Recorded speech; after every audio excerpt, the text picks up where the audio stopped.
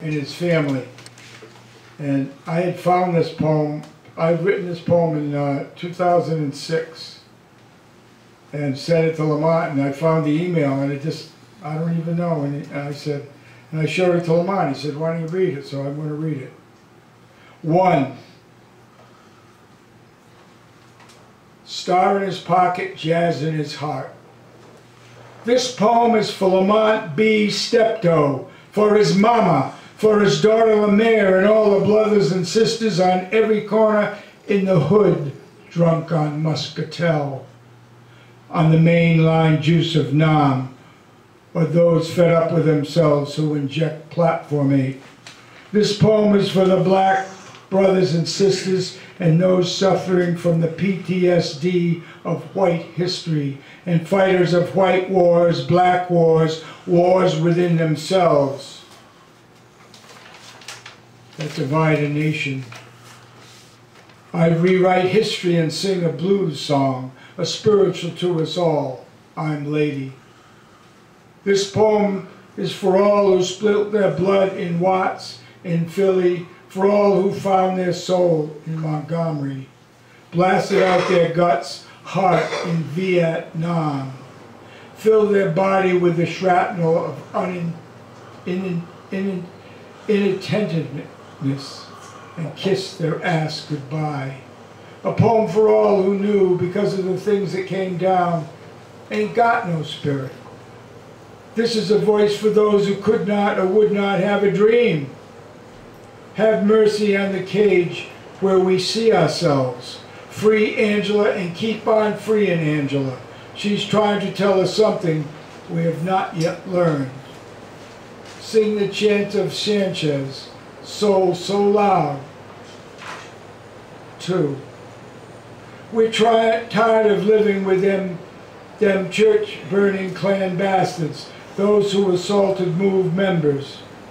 We're tired of working in the kitchen and hanging on the street corners, waiting for the revolution to come. We're tired of reading our poetry so others may or may not understand us. We're definitely tired of a heavy heart. We want the Liberty Bell without, without its apartheid crack. We're tired of being phallic or called voyeurs, tired of being hung on the white gallows or dragged behind behind pickup trucks.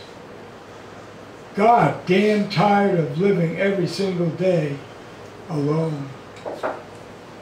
Too many nights of seeing body pots, booby traps, 105 rounds of fear and the screams of dying brothers, sisters, the endless ringing in our ears, the genocide, the suicide, the homicidal drive-by shootings.